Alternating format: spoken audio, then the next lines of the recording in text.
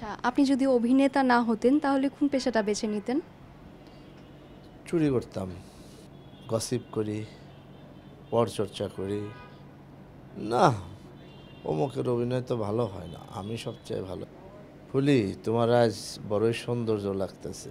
ফুলি বলল, এক কথা বারবার বলেন কেন? তখন আমি বললাম, সত্য কথা চোদ্দ বার বলো- বলা যায়। সত্য কথার এই হইল নিয়ম। কমেডি মানে মিথ্যা কথা বলা। হুম কই আছস? আরে আসি তো গুলিস্তান হয়তো সাবার আছে। ব্যাস হেবি খুশি মনে করল দর্শক। এখন অনেক নাটকে গালাগালি হয় আমি অনেক গালি জানি না। আমি ট্রাই করছি যে কিছু গালি শেখার জন্য যাতে আমি নাটকে এগুলি ব্যবহার করতে পারি। ফারুক ভাই আমরা দেখতে পাচ্ছি আপনার হাতে একটা স্ক্রিপ্ট আছে। আপনি কি নাটকের গল্প টল্প পড়ছেন নাকি? কি করছেন এটায়? এই যে আমি একটা শুটিংয়ে আসছি এখানে বনানীতে। আমার এক ছোট ভাই সে আমাকে ফোন দিল কয়েকদিন আগে যে একটা নাটক আছে। নাটকটার নাম ভালোবাসার ভাষা ছিল, আমাকে যখন স্ক্রিপ্ট দেয়, এখন দেখে আবার নাম বদলে কি যেন আর একটা নাম চেঞ্জ করে ফেলছে। এখন কেন করল আমি এটা জানি না। তো রচনা হলো আরিফুর রহমান নিয়াজ, আসলে গল্পটা হলো টুটুল চৌধুরী অভিনয় করে ওর, আর পরিচালনা কাইসার আহমেদ। তো ওই গল্পটা একটু দেখছি যে কি আসলে সময় ছিল আমি ঢাকার বাইরে ছিলাম শুটিং শুটিংয়ে তো স্ক্রিপ্ট দেখতে পারিনি একটু পরে আমার শর্ট আছে। যদি এখন শর্ট না দিতে পারে তাহলে যে বকা দিবে কাইসার ভাই। গায়ে হাতও তুলতে পারে বলা যায় না। এই ভয়ে এখন স্ক্রিপ্ট দেখছি। সে কি গায়ে হাতটা তুলে? মানে নাটকে বকা টকা তো তুলতে তুলতে পারে না। আমি না একটা ডায়লগও দিতে পারলাম না, তখন মারবে না। কি আদর করবে তখন? অবশ্যই না। তাইলে? আচ্ছা। আপনার চরিত্রটা কি থাকবে এখানে? দুশ্চরিত্র। দুশ্চরিত্র মানে আমার বস থাকে পারভেজ আমাদের নতুন এক- একজন অভিনয় করছেন এখানে। সে মূলত ব্যবসায়ী। কিন্তু এখানে অভিনয় করছে নাটকের প্রতি তার খুব মমতা। তো সে হলো আমার বস থাকে। তো সে একটা মেয়েকে ভালোবাসে। আমি আবার তার পক্ষে গুণ গান গাই। মানে আচ্ছা যেমন ওই যে আগের দিনে প্রেম নিবেদনের জন্য কোনো একটা মাধ্যম প্রয়োজন হতো। আপনি কি এখানে সেই মাধ্যম হিসেবে কাজ করছেন আমি আর চিঠি। চিঠি বলা যেতে পারে এরকম কিছু একটা। চিঠি হয়ে? ভালো লাগছে চিঠি যেমন উড়ে উড়ে যাইতো আমি উঠতে পারতেছি না এটা ভালো লাগছে না। অনেক বেশি। আচ্ছা এখন কি নিয়ে ব্যস্ততা কাটছে? এই পেঁচাল পারি আড্ডা মারি গল্প করি এগুলি নিয়ে শুটিং করি। শুটিংয়ের মধ্যে আড্ডা গসিপ করি পরচর্চা করি। না, অমুকের অভিনয় তো ভালো হয় না। আমি সবচেয়ে ভালো, এই নিজের গুণগান। এখন আমাদের দেশটা তো এরকম হয়ে গেছে না, যে সবাই নিজেকে প্রকাশ করতে ব্যস্ত থাকে। আমরা বলি বেশি, শুনি কম। তুমি একটা কথা বলবা, আমি সেটা মনোযোগ দেবো না। ওই তুমি বলে যে আমি দিনাজপুর গেছি, বুঝছেন? দিনাজপুর গিয়ে একটা খুব সুন্দর একটা হোটেল। আমি ওইটা শুনব না। একটু হোটেল শুনে আমি চিন্তা করব। আমি তো কক্সবাজার গিয়েছিলাম তাহলে আমি কক্সবাজার এই করছি।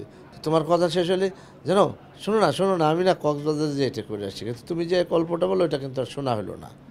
তো এখন আমাদের হচ্ছে এরকম যে আমরা কারও কথা ধৈর্য নিয়ে শোনার চেষ্টা করি নিজেরটা বলার চেষ্টা করি নিজেকে জাহির করার চেষ্টা করি। এটা আমাদের সমাজের ভিতরে রন্ধ্রে রন্ধ্রে ঢুকে গেছে। এখান থেকে আমাদের বের হয়ে আসা উচিত আমি মনে করি। তুমি একটা এই যে আমি কথা বলছি তুমি সুন্দর শুনছো আবার তুমি বলব আমি শুনব এরকম হওয়া উচিত। কিন্তু আমি এখন দেখি চারিদিকে সবাই খালি বলতে চায়। নিজে এইটা হয়েছে নিজের এইটা করছে নিজের শিডিউল নাই শেষ। অনু অমুক ডিরেক্টরে বললাম ভাই আমার তো আর ডেট নাই আমি দিতে পারব না আপনি আর ফোন দিয়েন না। এগুলো এগুলো বললে মজা পাই। আসলে কাজটা কি করলাম কে কত ভালো কাজ করল, ওইটার প্রতিও খুব একটা মনোযোগ নাই। কার ড্রেস ভালো, কে ড্রেস কোনটা পরবে, কে চুল পাং করবে, ওইটা হলো এক নাম্বার অভিনয়ের জন্য। এখন হয়ে গেছে।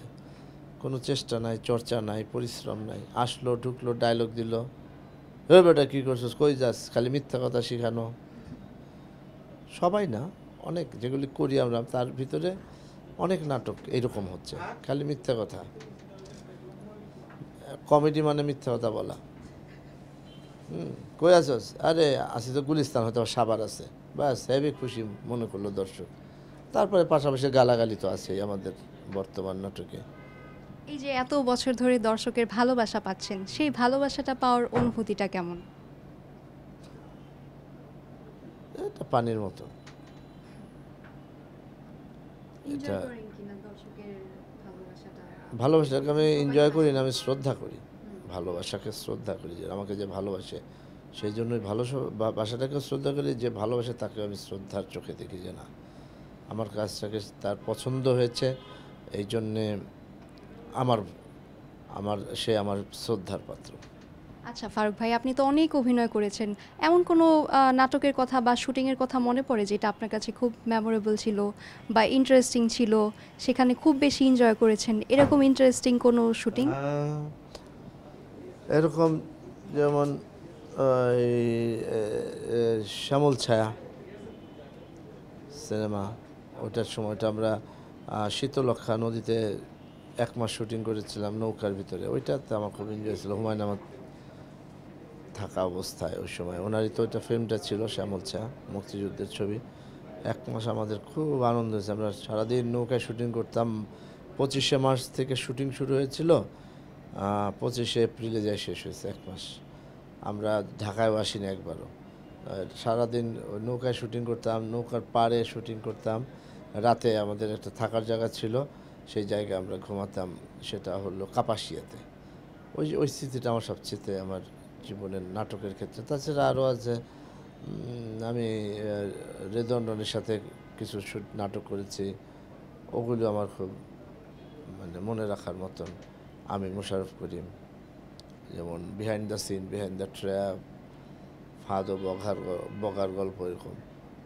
ওই নাটকগুলি খুব পছন্দ ছিল রেদন্ডনের ডিরেক্টর ছিলেন মোস্তফা কামাল রাজের, অনিমেষ আইজের, সাগর জাহানের এখন আমি অনেকের করি, হিমু আকরামের করি, তারপরে এদের অনেক নাটক আছে আসলে। এই মুহূর্তে সবার নাম তো মনে পড়ছে না।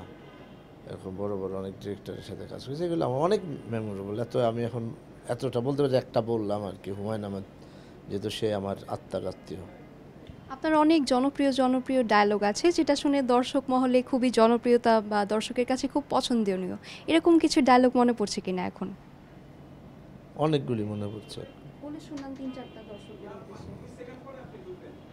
যেমন আমরা আগে বলতাম আব্বা শিখাইতো সকালবেলা ঘুমে থেকে উঠলে বল বলতো যে এটা মাথায় রাখবা সবসময়। কোনটা? ছাত্রনং অধ্যয়নং তপ। ছাত্রনং অধ্যয়নং তপ। ছাত্রের অধ্য অধ্যায় তপস্যাই হচ্ছে পড়াশোনা। আর এখন ঘুমে থেকে উঠে ছেলে মেয়েরা বলে গাঞ্জা খেয়ে কুল পাই না লেখাপড়া করুম কোন সময়? এই পার্থক্য হয়ে গেছে। তারপরে আমার একটা ডায়লগ আছে যে ফুলি তোমার আজ বড়ই সৌন্দর্য লাগতেছে। ফুলি বলল এক কথা বারবার বলেন কেন? তখন আমি বললাম সত্য কথা চোদ্দবার বলো- বলা যায়। সত্য কথার এই হইল নিয়ম। আচ্ছা আপনি যদি অভিনেতা না হতেন তাহলে কোন পেশাটা বেছে নিতেন? চুরি করতাম। কি চুরি করতেন? কি আবার যখন যা পাইতাম তাই। চুরি মানে মানুষের মন এই যে আপনাদের নাটকের মতো যেমন মন চুরি করে প্রেমে পড়ে এরকম কিছু চুরি করতেন নাকি কোনো জিনিস ঘড়ি আংটি এগুলো চুরি করতাম। কইরা বড় লোক হইতাম। কখনো কি এরকম চোরের চরিত্রে অভিনয় করা হয়েছে? প্রচুর। তখনও কি এগুলো চুরি করেছেন? না চোর হয়নি তো আমি তো অভিনেতা হয়ে গেছে। আচ্ছা। চোর হইতে পারলাম না তো। এখন সামনে কি চরিত চরিত্রে অভিনয় করে সেই ফ্যান্টাসিটা পূরণ করার ইচ্ছা আছে কি? করছি তো। ফ্যান্টাসিটা তো এখন আছে আমার আছে দিয়ে করছি এখন। সামনে কি কি করার পরিকল্পনা আছে? সামনে দেখি নাটক করি তো ইচ্ছা আছে কিন্তু এটা পারব কিনা জানি না।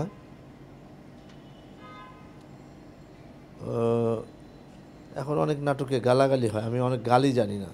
আমি ট্রাই করছি যে কিছু গালি শেখার জন্য, যাতে আমি নাটকে ওইগুলি ব্যবহার করতে পারি। মনে থাকে না গালি। তা আমি এখন চিন্তা করছি যে আমি গালি গালি দেবো। আমার একটা লেখা আছে, আধুনিক গালি শিক্ষা। হ্যাঁ আমার ওইটার ভিতরে আছে যে একটা, আমার এক বন্ধু লিখছে লেখালেখি করতে। তা আমি তার বাসায় গেছি, যাওয়ার পরে বললাম যে, কি করো? কবিতা লেখো, গান লেখো, না উপন্যাস লেখো। বলে, না, আমি লিখি একটা বই। আমি, কী বই? বলে, আধুনিক গালি শিক্ষা। তাই আমি বললাম, কেন? আধুনিক আধুনিক আধুনিক গালি গালি শিক্ষা কেন? তার বলে যে, এই যে আজকাল নাটকে গালি হয় এরকম গালি দিতে দিতে তো সব শেষ হয়ে যাবে, যেন আমি নতুন গালি লিখতেছি কিছু। তা আমি তো অবাক হয়ে গেলাম। তো আমার এখন মানে ভিউ বাড়াইতে হবে আমার। ভিউ বাড়ানোর একটা প্রধান ই হচ্ছে গালি দেওয়া নাটকে। তো আমি ওটা চেষ্টা করছি। হয়তো পারব না কেন অতটা নিচে নামা সম্ভব হবে না আমার যে একদম গালি দিয়ে আমার ভিউ বাড়ানো। এটা মানসিক কারণ সত হলে আমি থিয়েটার করা মানুষ। একটু লেখাপড়া জানি, বিশ্ববিদ্যালয়ে পড়াশোনা করেছি সেই জন্য হবে না। তোমাকে ধন্যবাদ।